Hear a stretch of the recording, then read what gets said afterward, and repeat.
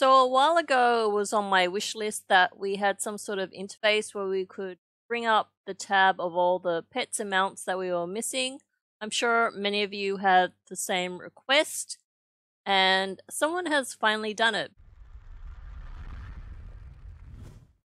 Hey guys, this will be for a new add-on that I recently discovered called Protoform Synthesis Field Journal and it will come in very handy if there are still a number of pets amounts that you still have yet to make. Now, it's probably what you expect just from the name. So, if you're not currently at the Protoform Synthesis console, which is actually right down here, you'll be able to use this add-on to open up a new tab and then see all the pets that you will be able to make you can install this add-on two ways. That is to either download the folder and then add it to your interface add-ons folder, or if you use some sort of interface like CurseForge, then you can do it that way.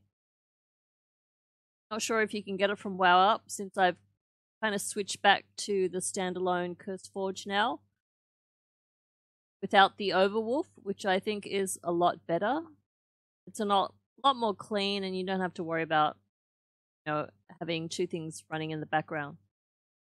First time you log in, you can just hit forward slash PSFJ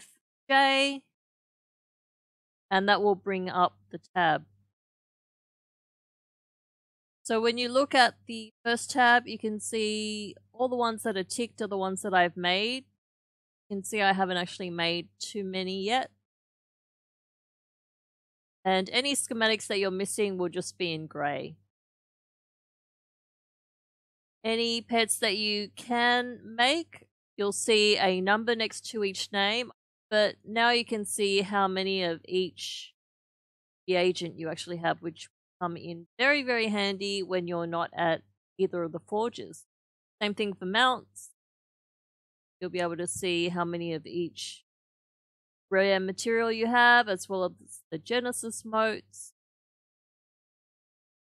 There are actually several settings that I find useful. So the first one is actually to add a minimap button to summon or dismiss, hide pets that I've already collected, hide mounts that I've already collected, and to hide the mount schematics that aren't shown on character.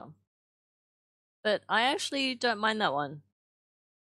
So if I go to the bottom of my list, you will see this one is in gray because I haven't actually collected that schematic yet.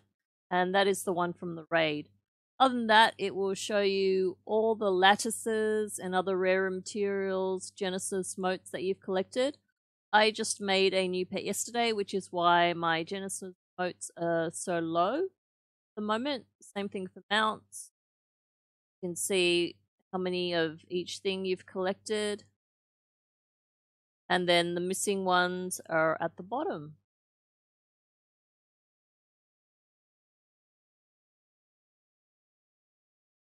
But hopefully your collection is going a lot better than mine. But there you go. So I hope that helped. As usual, thanks for watching, and I'll see you for the next video.